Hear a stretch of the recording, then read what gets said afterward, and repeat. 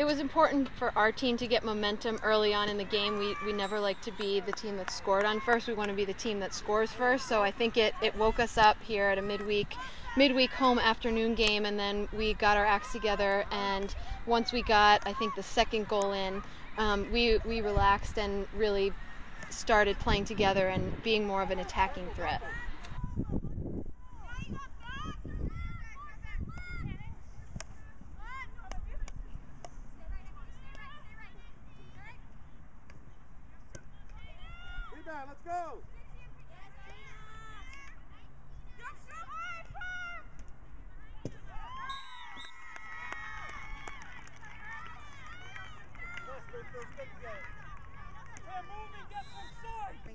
They called a timeout, which gave us a chance to review our circle positioning. We were attack- attacking along the end line, and we just needed to get um, our, our other forwards in really good position so that as the cross ball came, we were ready to send that in goal. And I think we got a couple of goals that way. I also think we made some smart decisions on um, on which corners to try, and we got a couple of looks through our offensive corners.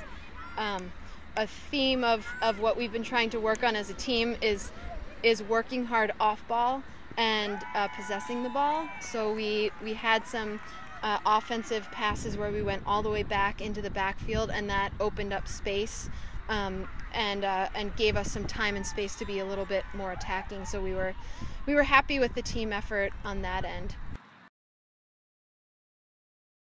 I think it's really important to start and end each half trying to get momentum, and we were able to start the second half with with some good momentum.